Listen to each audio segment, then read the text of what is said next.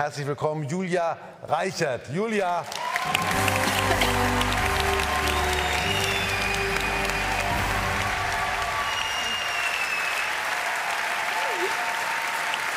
Julia. Schön, dich wiederzusehen.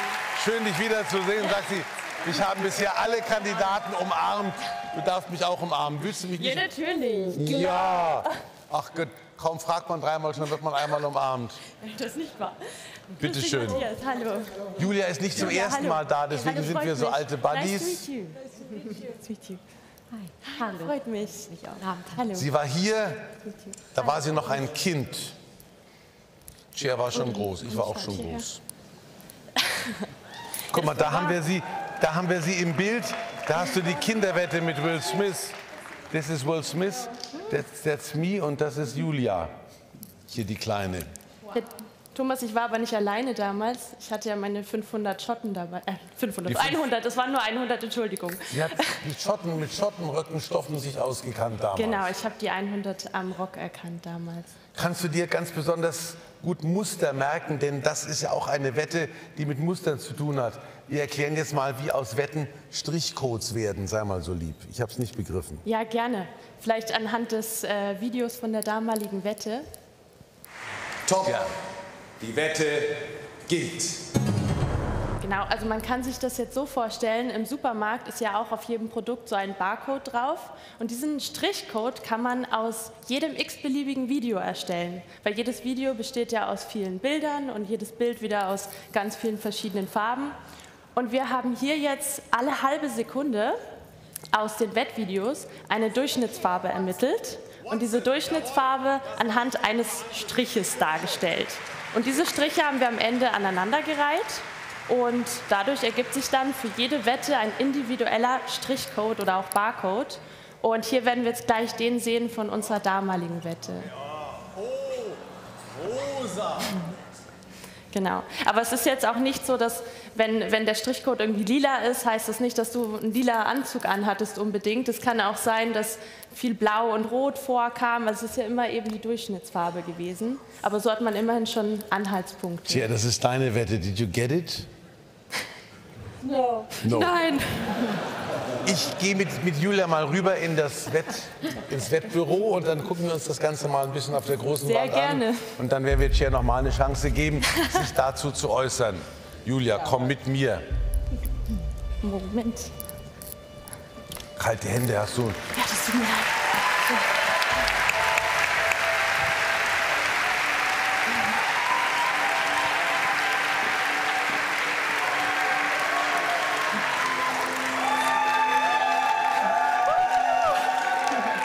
Sind das Arbeitskollegen von dir oder Verwandte oder warum regen die sich so auf? Du, das ist meine ganze Familie, Freunde, Nachbarn sind dabei. Danke fürs Kommen.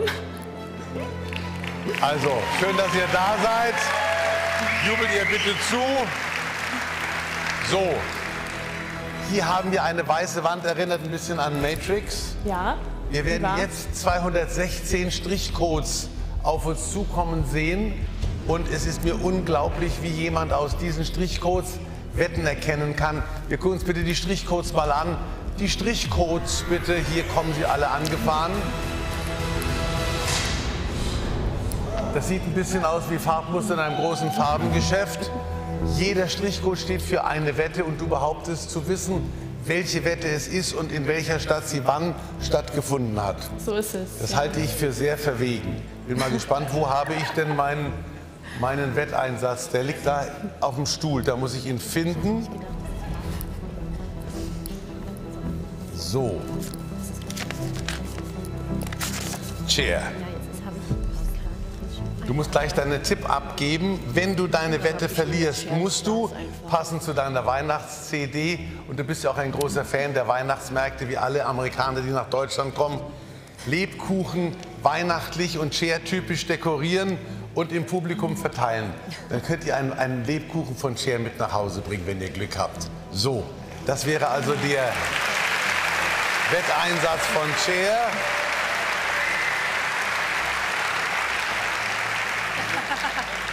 Meine Frage, schafft sie es oder schafft sie es nicht? Kann sie sich an 216 Wetten erinnern und jeweils die Stadt nennen, wo diese Wette stattgefunden hat und auch noch die Wette erkennen an diesen Strichcodes. Yes. Ja, I have faith Na. in her. ich habe Vertrauen in Sie. Sehr gut.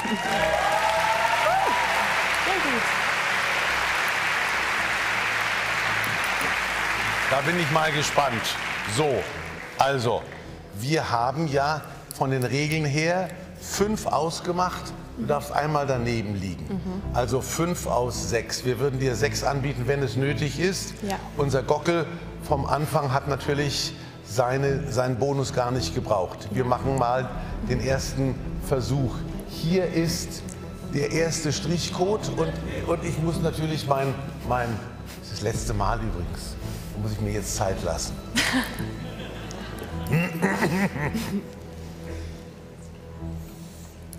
Ich werde es nur noch privat sagen. Top, die Wette gilt.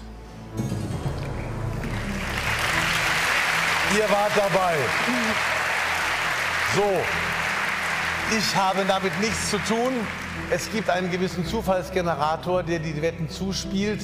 Ich bin mal gespannt, was kommt. Ich werde mitraten. Ich hoffe, ich war dabei. Das hoffe ich auch. Ich hoffe auch. 216 Wetten. Ich habe ja gar nicht so viel gespielt. Da war Frank mit dabei, da war der Kollege Lippert mit dabei. Markus Lanz hatte ein paar Mal sehen, was kommt.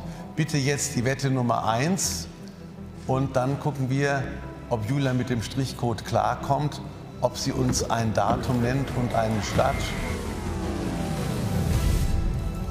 Lass mich mitraten. Ja, gerne. Siehst du was? Ich sehe nichts.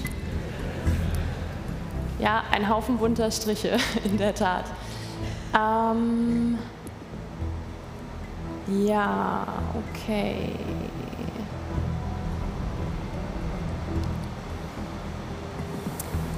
Ähm, das war der 25.01.2003 in Böblingen. In Böblingen. Da war ich, das ist richtig, aber die Frage ist, welche Wette ist das? Die war War- ganz lecker, die Wette. War das eine leckere Wette? Dann war eine leckere. Wette, jawohl. Ähm, die Kandidatinnen haben gewettet, dass sie ähm, mit verbundenen Augen 100 Schnuller am, am Nuckeln, am Geschmack erkennen können. Ich kann mich an eine ähnliche Wette erinnern. Ich kann mich sogar an diese Wette erinnern, weiß aber nicht mehr, ob es in Böblingen war.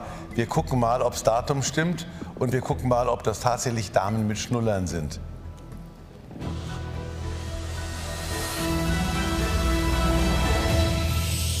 Wir lösen die Strichcodes wieder auf, tatsächlich.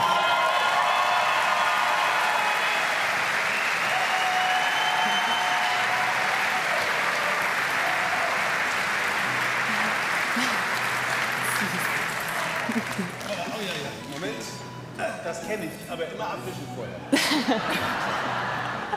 Richtig erkannt. Fesch schaust du aus. Nicht schlecht. Und es war tatsächlich richtig, es war in Böblingen und das Ja. Datum hat auch gestimmt. So, das war ja.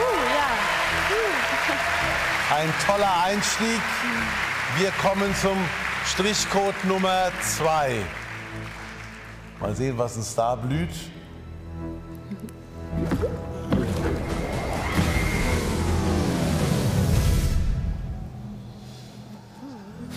Ziemlich viel Blau.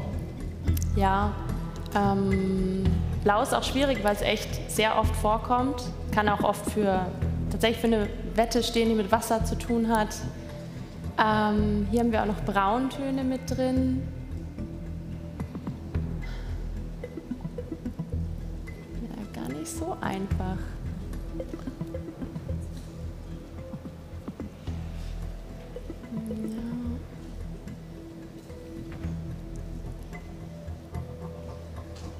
Echt nicht hundertprozentig sicher, aber ich würde sagen, es war der siebte, elfte.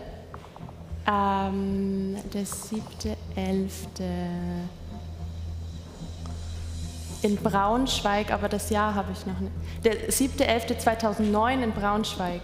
Ja, es war nicht Blauschweig, sondern Braunschweig. Braunschweig, oh Gott. Du hast völlig Okay. recht.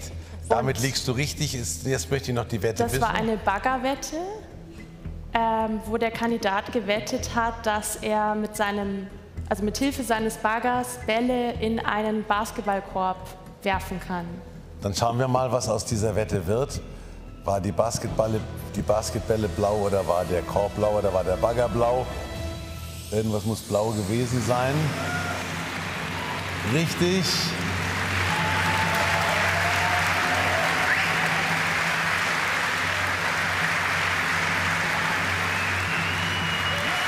Jawohl.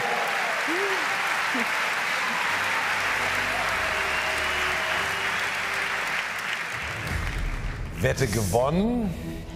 Das sind alles gewonnene Wetten, die wir bis jetzt. Das sind alles Wettkönige gewesen. Das sind alles Wettkönige, deshalb auch die 216. Aber es können auch Verlorene dabei gewesen sein. Es wurden ja einige verloren und trotzdem Wettkönig. Wette Nummer drei.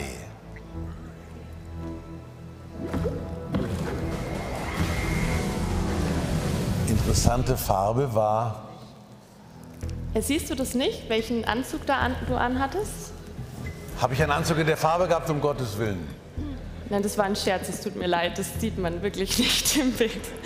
Ähm, aber der, der Code, also diese, diese Farbe mit, mit Orange oder Rot und Gelb, das spricht meistens tatsächlich für Mallorca. Ach was. Und äh, diese hier war auch auf Mallorca. Ähm, und zwar war das am 23.05.2010. Das Mallorca. stimmt, da war ich in Mallorca, das war nach meinem Geburtstag. Da bin ich mal gespannt, wie ich mit 60 Und- ausgesehen habe. Ja, und äh, die, die Kandidatin hat gewettet, dass sie mit einem 50 Kilo schweren Reifen, also einem, ich glaube, ein Traktorreifen war das, Hula Hoop tanzen kann. Echt? Ja, So Frauen kenne ich. das muss wehgetan haben. Da bin ich aber mal gespannt, ja. Das hat sie Mit geschafft. Einem, mit einem Traktorreifen Hula Hop erscheint mir schwierig zu sein. Ich kann mich an die Dame weder an den Reifen noch an die Dame erinnern, aber ich kann mich gut an Mallorca erinnern. da hatte ich nämlich einen Bandscheibenvorfall. Oh, wirklich? Okay. Ja. Willst du die Geschichte nachher erzählen? Ja, müssen wir. Das klingt schmerzhaft.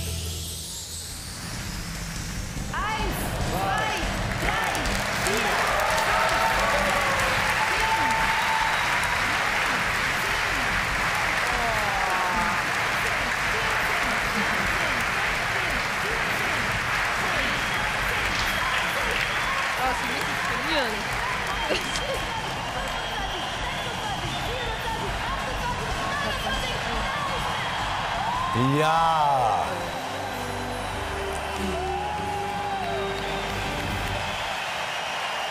Ein liebender Mann. Ich hatte da tatsächlich einen Bandscheibenvorfall am Tag der Sendung. Und das war verrückt, hat mir der Arzt ein Zäpfchen gegeben. Ja. Und äh, also das hat er mir mitgegeben. Ich habe gedacht, das nehme ich kurz vor der Sendung. Aber es war so, da hat mir das, Z- das ZDF, mickrig wie die sind, so einen Wohnwagen ohne Kühlung gegeben. Und da war es dermaßen heiß, als ich mir das Zäpfchen heute Abend, da war das so eine glibberige, das konntest du gar nicht mehr, das war, das war flüssig. Da habe ich gedacht, ein Tropfen geht ja nicht. Dann habe ich es hab eine Stunde in die Tiefkühltruhe gelegt, habe so eine Rakete draus geformt Das war smart, ja. und habe mir dann so einen Eiszapfen da reingeschmissen. Aber in der Sendung hat man nichts gemerkt. Nee, wirklich nicht. Hat man nichts gemerkt. Nee, aber das war, das war die Mallorca-Geschichte mit dem Zäpfchen, ja. Ja, okay. Dann war das nicht nur für dich schmerzhaft. Aber ich will, dich, ich will dich nicht ablenken mit solchen Geschichten. Ah, du, alles gut. Das wäre dann wahrscheinlich eine eher farblich, naja. Du, wenn es noch, äh, noch eine Show geben sollte, dann lerne ich die Facts dazu. Ja, dann sage ich Ort, Datum und was dir noch passiert Die Leute ist. glauben ja nicht, dass es meine letzte ist, aber ich habe mich da wirklich dafür entschieden. Aber nichtsdestotrotz. Würde ich machen. Ja, okay. Du bist die Erste, die sagt, mach doch weiter. Ja, klar. Das sind schon zwei. Naja. Die nächste, die nächste Wette lassen wir uns nicht ablenken.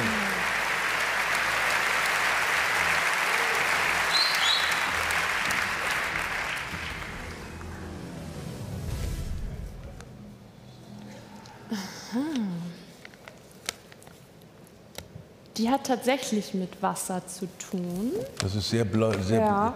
eine, eine blassblaue Frauenhandschrift sehe ich da. Und ist auch schon länger her. Bei mir ist alles länger her, befürchte ich.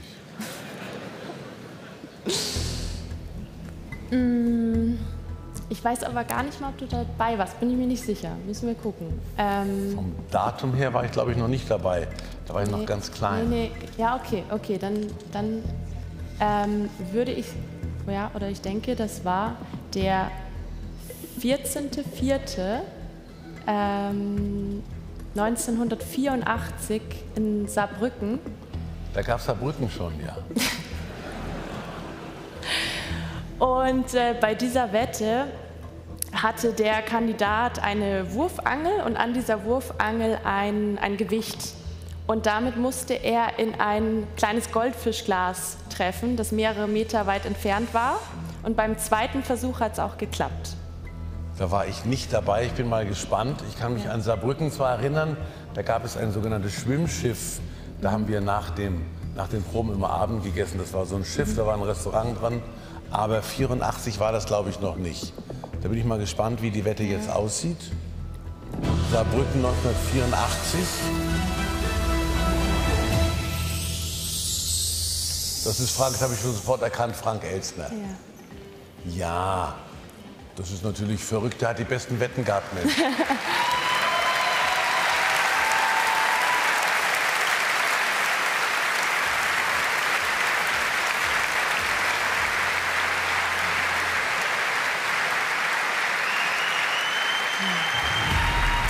Ja, Wahnsinn. So, und das wäre jetzt.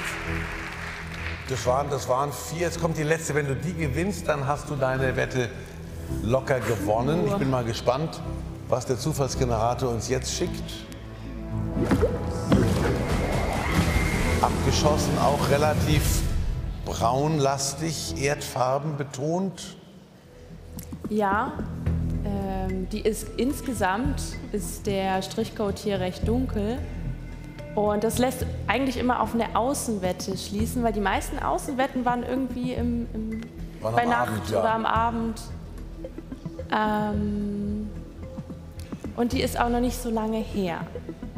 Also relativ. ähm, und das war ähm, am 13.12.2014 in Nürnberg.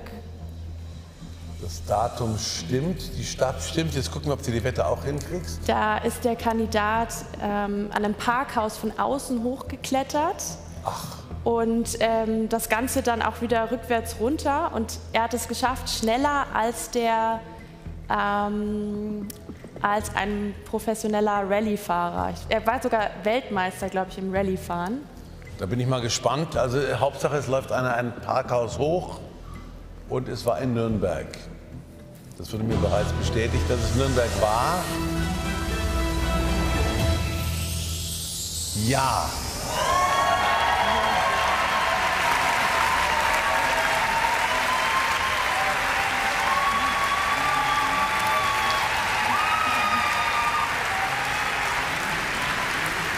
Verrückt. Ja. Er. Er ist unten.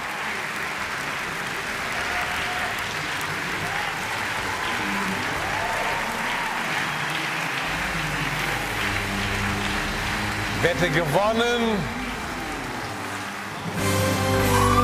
Ja. Ah, das ist egal. Danke dir.